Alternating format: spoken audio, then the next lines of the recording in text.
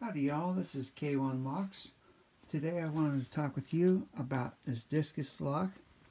It's called the Chateau C970. Hoi! And to be opening this today, we'll be using brand new tension wrench I made recently.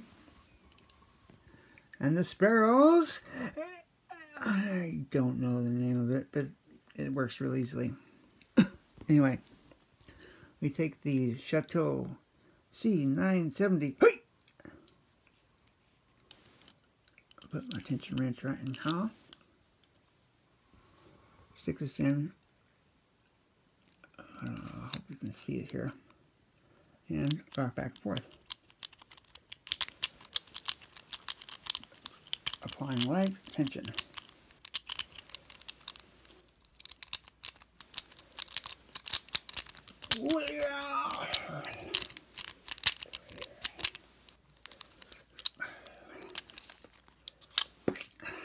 And there you have it.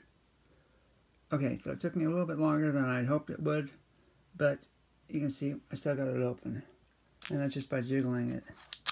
I'll try it one more time, and if I can't make it within like 10-20 seconds, I'll stop. So here we go.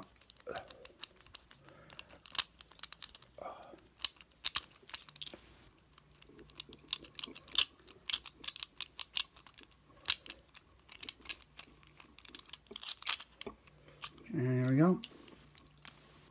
Okay, it did take me a little longer than I had hoped, but still got her open. Anyway, this is the Chateau C970. Hoi!